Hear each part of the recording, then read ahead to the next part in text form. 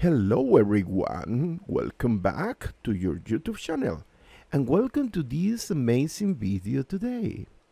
And today I am presenting a numerical solution of an example where I am applying the equal area criterion to assess the rotor angle transient stability. In other words, I am using this equal area criteria to identify if the system that is subject to a disturbance is able to keep the synchronism. And today I am using a MATLAB live script because I want to focus more into the explanation of how to use this um, equal area criterion and I will be using here this MATLAB live script with the support of um, symbolic mathematics. And the use of symbolic mathematics will help me to solve the equations, the integral equations that I will create here. Well, without further detail, let me go for the explanation, okay? Let's start here and you can read a synchronous generator is connected to a infinity bus bar throughout a transmission line and you can see here the reactance is 0.15 per unit.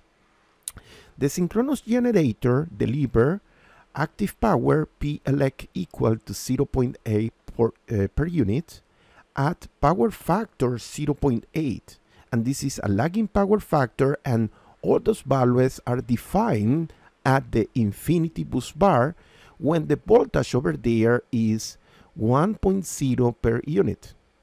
Now there is an interesting question here. Calculate the maximum magnitude of the mechanical power which can be suddenly increased without the generator losing the synchronism. In other words, we have here the single line diagram. In other words, I want to know what is the maximum increase in the mechanical power at the shaft that of this synchronous machine that I can apply without losing the synchronism. In this single line diagram, you can see the per unit values. All of them are defined on the same base.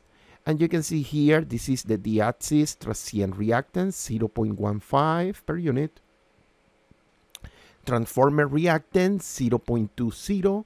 And the transmission line reactance, 0.15 per unit. As you can see, this is a lossless, lossless um, power system.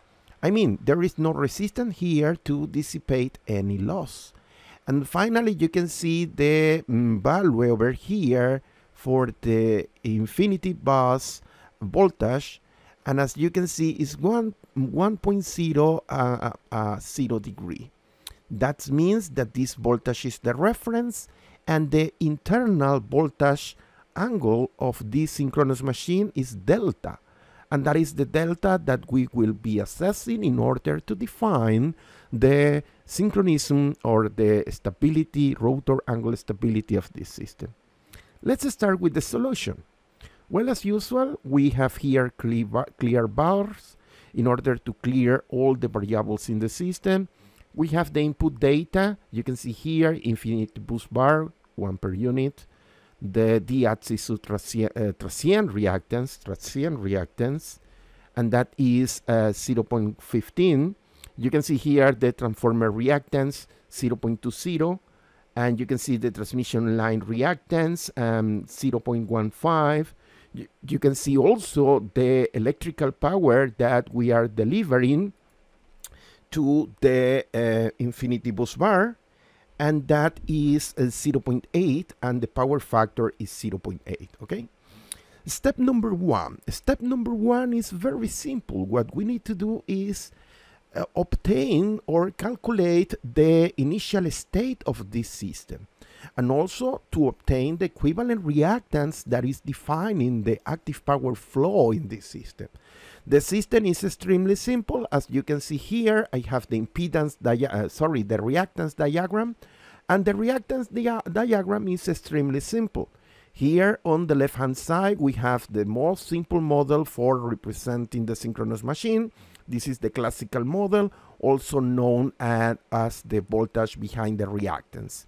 Then we have the transformer. Here there is a representation of the series impedance and uh, reactance, sorry. And here we have the transmission line 0.15. And on the right hand side, we have the ideal voltage source representing the infinity bus bar. The impedance calculation here is extremely simple because all those impedance between the point G and the point infinity is basically a series connection. As a consequence, the total uh, reactance will be uh, 0.15 plus 0.20 plus 0.15, okay? This is a series connection. Then what we are doing here is defining the equation for the apparent power. The apparent power is delivered here at the infinity bus bar. For that reason, we can obtain the, the, the power, the apparent power, using a very simple representation, polar form, and the magnitude of the apparent power will be the active power divided by the power factor, and the angle of this apparent power will be the, the, the defined by the power factor, okay? When we put the number together, we have here the solution using um, rectangular form and polar form. If we go for the rectangular form, you can see that the apparent power is 0.8 plus J 0.6 per unit. And the polar representation, 1 angle at 36.86 per unit. Next step, well, I need the current moving inside this circuit and using the definition of apparent power at the, at the infinity bus bar, I can extract the current and the current will be the apparent power divided by the voltage at the infinity bus bar, but the conjugate of all that. Applying the numbers, we have the numbers here, 0.8 plus, uh, minus 0.6j. In polar form, probably is better, 1 at angle minus 36.86. Next step, and probably the final for calculating the initial conditions, uh, we use the Kirchhoff voltage law in order to obtain here the internal voltage of this generator. And it's very simple because applying Kirchhoff voltage law, it will be the total equivalent reactance multiplied by the current plus the voltage on the infinity bus bar. When we put the number together, voila, we have that the internal voltage in polar form is 1.36 angle 17.1. And that is a very interesting result because as you can see, the magnitude of the internal voltage of the synchronous machine is larger than the infinity bus bar. I highly suggest the student to reflect about this and what is the consequence regarding active and reactive power. Step number two. Step number two in this problem is very simple. We obtain the maximum power, the maximum power that we can have in this electrical circuit. I mean the active power, maximum active power. And here, all my students remember this equation over here. And this equation say that the maximum power transfer from the generator to the from the from the internal voltage source of the generator to the infinity bus bar is the internal voltage, the magnitude of the internal voltage multiplied by the magnitude of the infinity bus bar divided by the reactance. And that is the maximum power. When we put the number together, 1.36 multiplied by 1 divided by 0.5 Bam, we have here the maximum power transfer between the internal voltage and the um, and the infinity bus. And in this case, the value is 2.72 per unit, okay? Step number three, now we are creating here, we are creating here the amazing power angle, the amazing power angle curve. And in this representation, I need to include the disturbance. And from that representation, I will obtain the areas A1 and A2 that I need to apply the equal area criterion. For that reason, let me show you. Initially, we are working here in this horizontal line, mechanical power zero.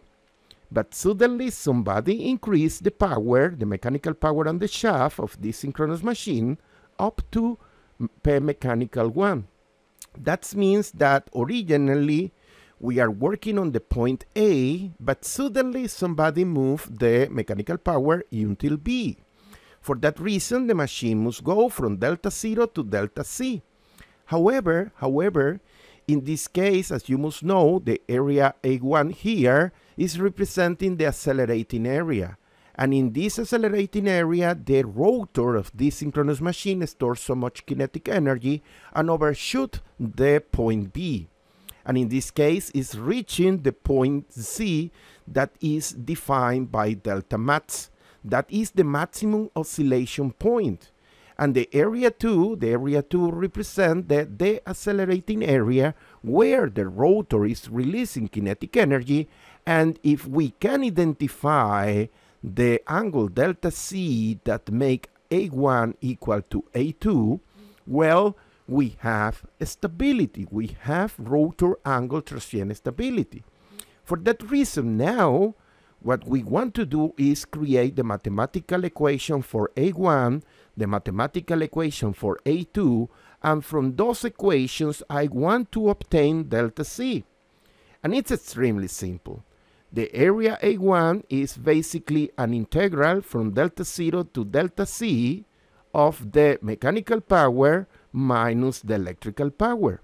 But here there are two interesting things. The electrical power is defined by P max uh, sine of delta, but the mechanical power, we want to express that in terms of the unknown variable delta C. And it's very simple to see, all my students can see that, that the mechanical power 1 is basically P multiplied by, uh, by sine of delta C. Well, now I am taking advantage of the symbolic mathematics inside MATLAB. And here we can see the accelerating area.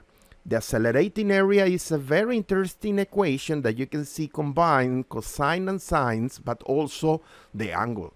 What I'm telling you is that this equation is 2.72 cos cosine of delta c plus 2.72 sine of delta c, and sine is multiplying delta c minus 0.298, and finally minus 2.6 here on the right. Then we apply the decelerating area, and the deaccelerating area is very simple. It's basically this area here between delta C and delta max. On the top we have the electrical, the electrical power and the bottom is defined by the mechanical power 1. That is this equation over here. The area A2, it will be basically the integral between delta C and delta max of P electric or electrical power minus mechanical power 1 but we need to again remember that the mechanical power 1 can be referred, can be rewrite in terms of delta C. And that is what we are doing here. We are including here the mechanical power 1 as a function of the sine of delta C. But also we need to be careful because delta max, delta max, if you look over here, this angle delta max, they are symmetrical and you can see that delta max will be pi minus delta c. And that is what I am writing here. Delta max equal pi minus delta c now what I will do is again take the advantage of the symbolic mathematics in MATLAB and now we have the, the accelerating area equal 5.44 cosine delta c plus 2.72 sine delta c that multiply to delta C minus 3.14. Now the time has arrived and now we need to apply the equal area criterion. And the equal area criterion say if I can identify an angle delta C that satisfy that the area 1 is equal to the area 2, I mean all the energy stored is released. All the all, all, all the the accelerating area is equal to the accelerating area well we will have stability. And this is what I am doing here. I am creating a function EAC that is basically equalizing A2 and A1, okay? And now what I want to do, what I want to do is basically, basically a plot, a plot of these functions, okay? As you can see here, I have a 2D plot. The horizontal axis is delta C, and the vertical axis, we have two curves, one for representing A1 and A2. And as you can see, the, the blue and the orange curve both of them they intercept here around 1 and that means that graphically I can see that there is a point of intersection. That means that there is an angle where a1 is equal to a2 now we are solving the equation we are solving the equation using the symbolic mathematic. For that reason we are using vpasolve from the toolbox of symbolic mathematics and voila, here we get the solution. The solution is that there is a delta C, I say from the plot that is around 1, but the proper value is 0.9478 radians, okay? That represents 40, uh, 44.30 degrees, okay? That means that we can find and we can identify this angle delta C here and as a consequence we reach stability, this machine will be able to uh, absorb a delta power that is basically defined by mechanical power 1, okay? Now the job is identifying the value of that mechanical power 1. And as I say a couple times before, the mechanical power 1 is equal to P max sine of delta C. We know that delta C is 0.94 radians or 40, uh, 54.3 degrees. And when we assess that, we obtain here that the final mechanical power will be 2.2093 per unit. And the increment, because we remember that the initial power was 0.8, and we increase the power until 2.0 0 um, 2.0 or 2.20 okay?